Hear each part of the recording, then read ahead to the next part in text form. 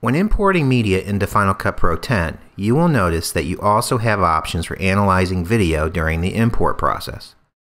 If you check these options, Final Cut Pro will begin the analysis of each file that was selected to be imported. You can bring forward the Background Tasks window by clicking on this percentage wheel at the top of the timeline area. What's fantastic is Final Cut Pro 10 will perform the analysis in the background, so you will still be able to edit while Final Cut Pro processes the information. Don't worry, if you choose not to select these options on import, you will still have the opportunity to analyze the media whenever you choose. Just right click on a clip or a series of clips and choose Analyze and Fix from the contextual menu.